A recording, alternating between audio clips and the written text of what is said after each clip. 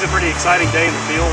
Um, today we captured a, an individual that's never been captured by a human before. Um, captured in a new wetland that was only discovered to harbor a bog turtle population this last year. We know that there are five individuals in this site, and now this is uh, the sixth. The southeastern United States is a hot spot for freshwater turtle diversity within North America and uh, actually even in the world. The bog turtle is perhaps the, the, rarest reptile in North America, which makes this area uh, fairly significant. The bog turtle is currently protected in all states in which it occurs, and the northern populations are federally listed as threatened, and in Georgia, the, the, the species is listed as endangered. Bog turtles have become increasingly rare simply because their habitat has become increasingly rare, and loss of habitat has been the major factor in bog turtle declines. Within the current fragmented landscape, there no longer exists the network of mountain bog habitats of differing successional stages necessary to naturally perpetuate bog flora and fauna over time. Conservation uh, of the bog turtle consequently must incorporate active management of bog habitat and bog turtle populations on both private and publicly owned lands. This is a female turtle, which is, a, is also a good thing for the the species. Um, females obviously are the only only sex that can lay eggs and um, in order to perpetuate the species, we need a number of uh, egg producers. You can tell that she is a female because of the size of her tail, the size and the shape. It's a relative characteristic, but if um, if this were a male, the tail would be approximately this long. The cloaca would would be behind uh, the carapace, and there would be an, an indentation in the in the plastron. In this case, um, all indications are it is a female. One of the reasons that we capture bog turtles and look for additional populations is to support our efforts uh, head starting and reintroduction. We hope to capture a number of gravid females, which is to say females that are pregnant, that harbor eggs and have not laid them yet. In this case, this female appears to be uh, of significant age, she is sexually mature, and she would be capable of, of, um, of being gravid and laying eggs this year. But palpation indicates that she does not, in fact, have eggs.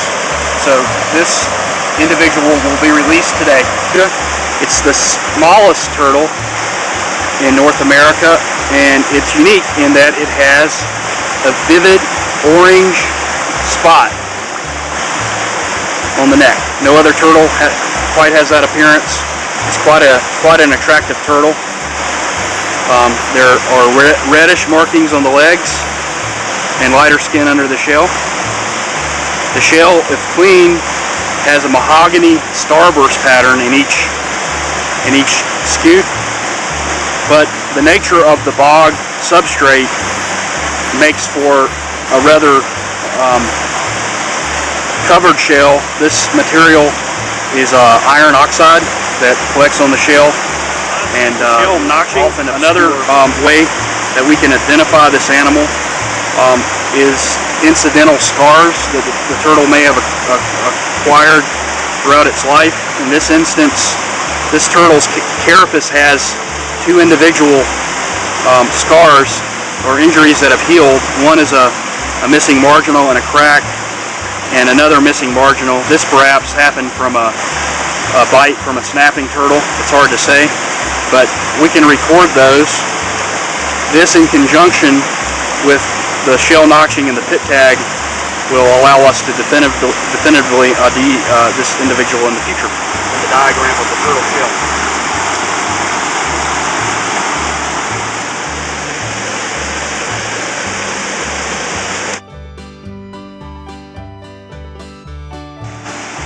are often referred to as the smallest and rarest uh, reptile in North America. I have here a spring scale. We're going to get a weight.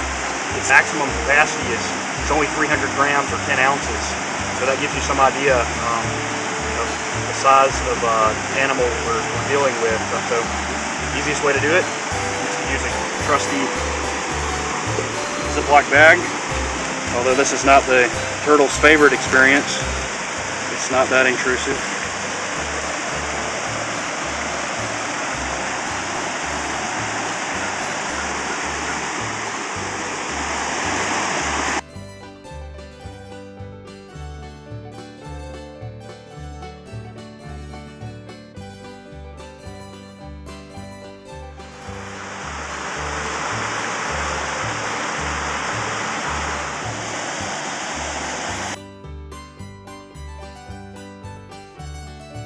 Notch to be cut into the edge of the shell into these marginal scutes.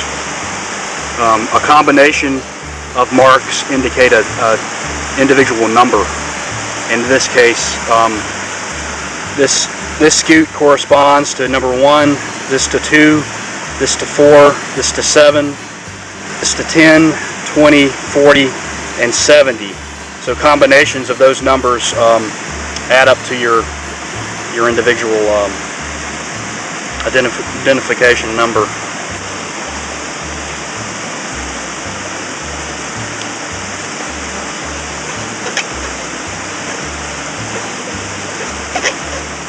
There are no nerve endings in this tissue.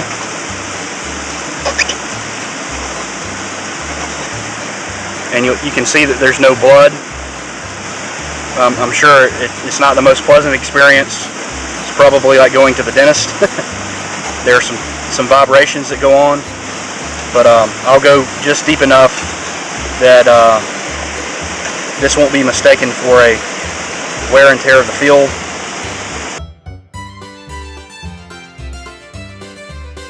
PIT-TAG is, a, uh, is an acronym. It stands for Passive Integrated Transponder. It's a, small um, computer chip.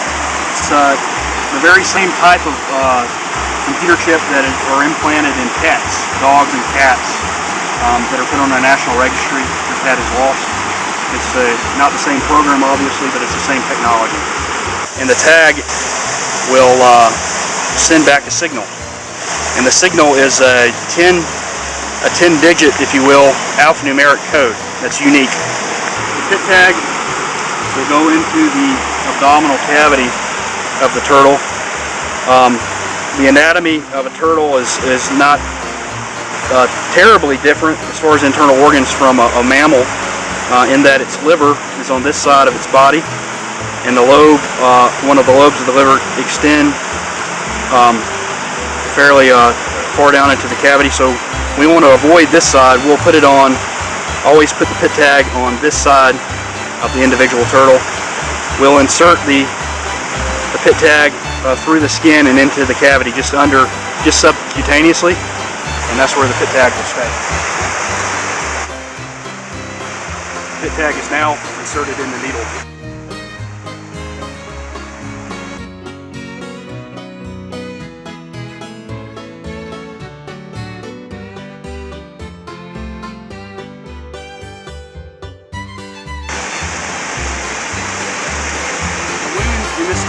To, show you how um, little um, injury, pain we've inflicted.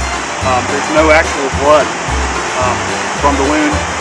Um, some cases that actually occurs, but that should be some indication that um, the turtle is not not been harmed. Having an individual mark is, is, is well worth uh, this procedure. This is used in a number of, a number of species. Uh, perhaps most notably in, in sea turtles and uh, even large turtles like alligator snapping turtles.